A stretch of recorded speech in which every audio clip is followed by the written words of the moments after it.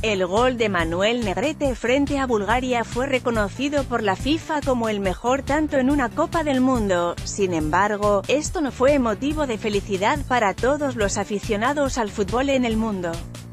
La prensa argentina mostró su descontento después del triunfo del mexicano, argumentado que el ganador debió haber sido la segunda anotación de Diego Armando Maradona a Inglaterra, en el Mundial de México 86.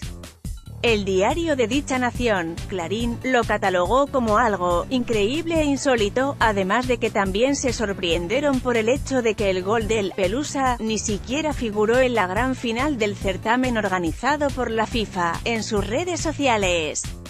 La gran anotación de tijera, hecha por Manuel Negrete, se convirtió en el mejor tanto en las Copas del Mundo tras imponerse a la diana hecha por Eder Aleixo, en la fase de grupos de España 82, tras recibir el mayor número de votos por parte de los aficionados alrededor del orbe.